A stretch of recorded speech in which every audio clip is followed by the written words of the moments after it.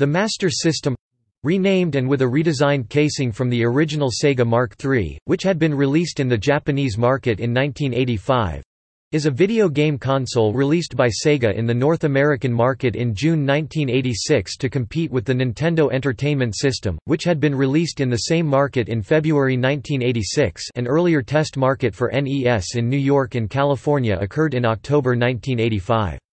Originally priced at $200, North American distribution rights for the console were acquired by Tonka before Sega reacquired the rights themselves and released a further streamlined redesign of the console during the launch of the Sega Genesis.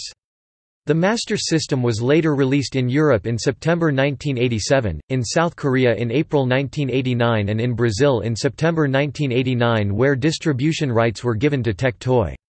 A re-release of the console in the Japanese market under the new Master System brand and redesign occurred that same year. This is a list of the 341 game titles for the Master System video game system.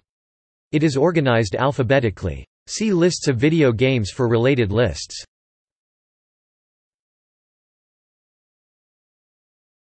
Topic: Games